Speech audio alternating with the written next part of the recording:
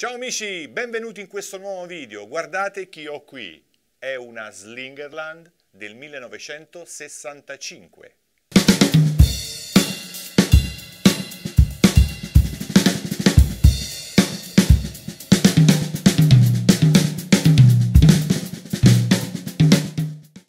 Slingerland è un marchio celebre storico americano in Italia non è molto conosciuto, ma in America negli anni 60 e 70 era sicuramente la batteria più diffusa. Questo marchio è stato sempre legato a doppio filo all'iconico e grandissimo batterista Gene Krupa. Infatti Gene Krupa appare su tutti i cataloghi della Slingerland dagli anni 30 fino agli anni 70. Nell'era dello swing quindi parliamo degli anni 30 e gli anni 40 del secolo scorso, Slingerland era sicuramente il marchio più prestigioso e anche eh, quello più ambito. Eh, famosissime sono le batterie Slingerland di quel periodo, denominate Radio King. Oggi sono strumenti molto quotati e molto rari da trovare, sono strumenti che hanno fatto la storia della batteria. Attualmente il marchio Slingerland è stato acquisito da DV da qualche anno, ma non ha modelli in produzione, siamo tutti in attesa che arrivi qualche nuovo modello. Ma andiamo a vedere nel dettaglio questo strumento. Nel catalogo del 1965 questo strumento appare sotto la denominazione di Modern Jazz eh, numero 9N. Questo strumento è nella finitura Silver Sparkle, una delle più classiche, e le misure sono cassa 20x14, tom 12x8, timpano 14x14 e rullante eh, in ottone cromato, eh, modello Gen Krupa appunto, eh, 5x14. Questi fusti sono realizzati a tre strati, acero interno, pioppo centrale e mogano esterno, con anelli di rinforzo in acero. Ho voluto testare questa batteria a tre diverse intonazioni, partendo da una tensione bassa, poi una media e infine una acuta.